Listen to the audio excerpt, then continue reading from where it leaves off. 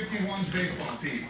Obviously, today is the coach's challenge, and uh, we're gonna have a batting showdown today.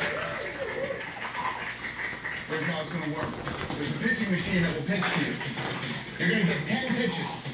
We're gonna do three innings. If you get over the first fence here, you get one point. You get over the second fence, you get three points. And if you hit a home run, you get six points. At the end of three innings, the coach with the most points wins the ten thousand dollars in cash. Okay? The winning team will also get fifteen hundred dollars each. Okay? Team hasn't done so well in this competition so far. So to come in and beat Georges St. Pierre, at least as the, at the coach's challenge, would feel good for Josh. Focus, Josh. You Played baseball since probably about 13 years old, so a lot of uh, anxiety about having uh, rest.